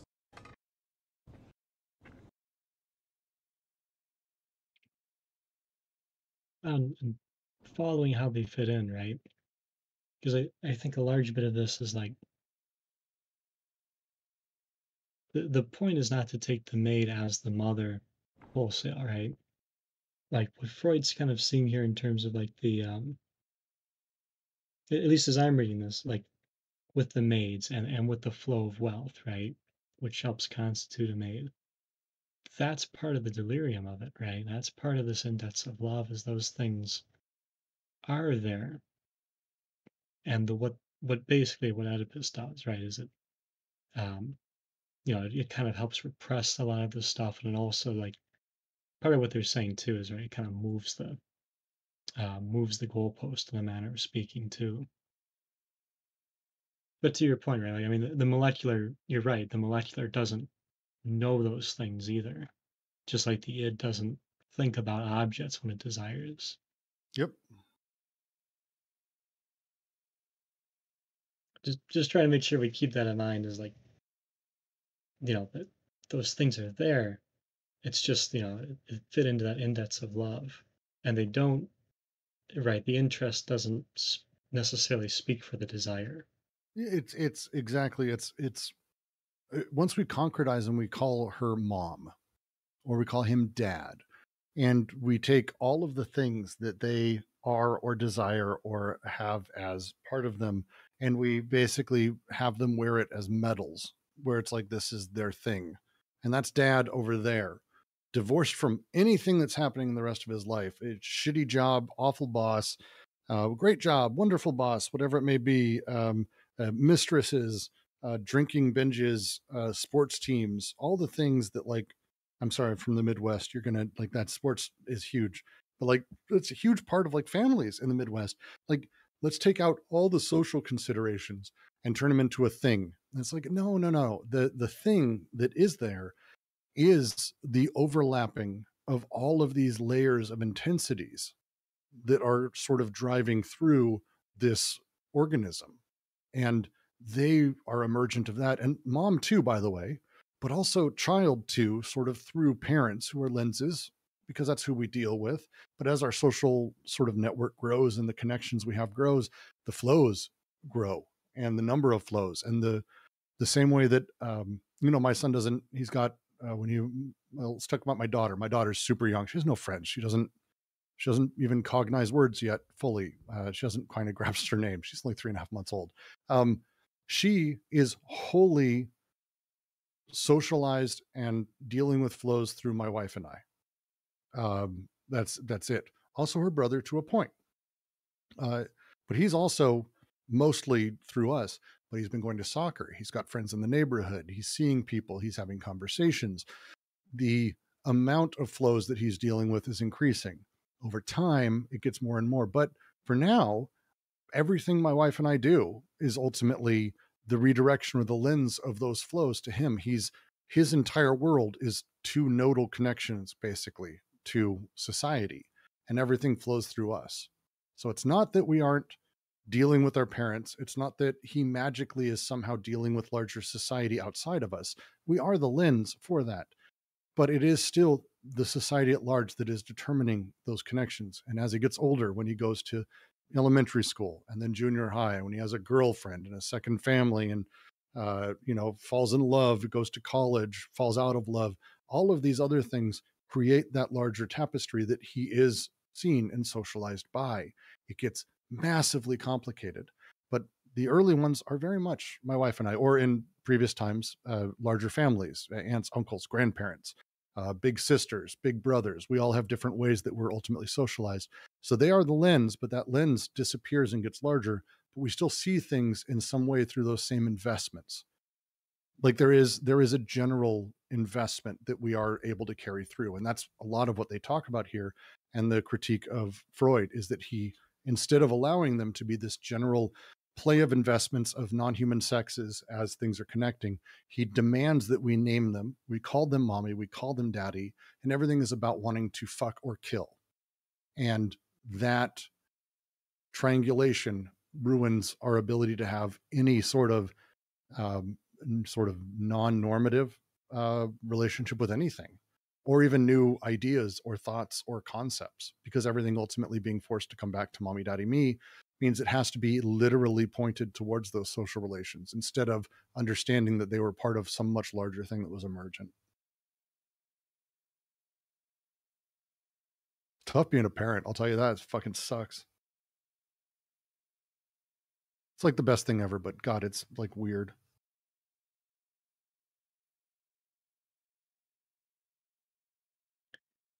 Yeah, I definitely can't imagine.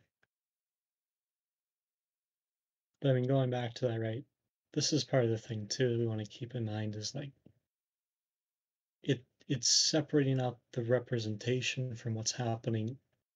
And I think this does come up a little bit in, in civilizations, discontents, like and in some ways the losing water explaining it better without just kind of implying a contradiction, right? Um, or at least they're they're developing that idea um, I think further, right? Like at some level in social production, right, the wolf man or the rat man this this stuff is happening, right? It's to say that it's just to say that like this maid thing is not necessarily a question of the mother. If anything, the mother can be a question of the maid, right? Mm. And this is kind of, and this is at that molar level, right? At the molecular level, it's it's a little bit of a different question because we're always kind of navigating the two. You know, we can kind of rely on that point of like, yeah, when we're talking about the whole object, right, we're probably talking about social production, right? Um, this is where you can kind of see where like social production is at play here and what the Wolfman's going through, or the the Rat Man, or what, even Freud for that matter. This is to say at one and the same time, though, right? There's still that point at which Oedipus comes in and affects social production as much as desiring production as I'm reading it. Because that's kind of like I think what Girard's putting his finger on here too, is right. There is social production and desiring production. There is this index of love, hap- or indices of even perhaps happening here at one and the same time. How does Oedipus fit in? Well, it seems that Oedipus um, affects those indexes, indices, excuse me, uh, without necessarily being what constitutes them. Right, and this is kind of the di- this is I think like in some ways this is kind of the brilliance of what they're talking about, but it can also be the challenge is like these three things are happening, and you know it's that point of trying to find our way through the delirium as much as the um, as much as the love here right? And and vis-a-vis the representations right? Where something like oedipus comes in and you know you have these aggregations like something like the maid for instance um, and you have the mother bearing down upon that without necessarily being what produces it.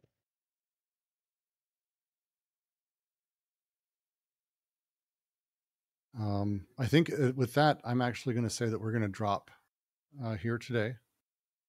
Um, because I think we, have, I mean, we're over time, and I don't. I think we start the next one. That's going to be long enough. The underlying thing today was getting through finally everything that's stacked up, everything we've talked through, and getting through from the po- second positive task about understanding what investment means and what is invested very directly taking aim at Oedipus and Oedipus as through Freud. That it is not determinate, it is not aimed, that these things sort of exist in some capacity, but that even in Freud, we can see these things as indices for himself, because this is how these things bleed through the, the non human sex um, of, of all of it. I, I adore this uh, this phrasing we're about to get into, um, I think, a much more complex um, element about how the libido, to what uh, Jack was just talking through, um, actually deals with parents, and a lot of what my sort of ramble was about when we talk about the the family and what it actually means, and how we're actually sort of uh, what we learn, what we're invested in by parents, things like that. We're going to be getting into that uh, next week. So for now, I'm going to leave it. Um, I thank all of you for joining us. This is, as I always say, this is the highlight of my week. I adore it very much. Um, uh, don't hesitate to ask questions in the anti Oedipus chat or anywhere else uh, if you have them. I'm going to be trying to hold later this week a sort of impromptu hour, two hours of just like talking anti Oedipus uh, because I enjoyed doing that a few weeks ago, and I think it, it could be really positive. It's just more of an open, like after people have a chance to digest or you know, not recorded, no pressure for us to get moving uh, thing. So I'm going to start doing more of those. But um, thank all of you for joining, and I look forward to next week.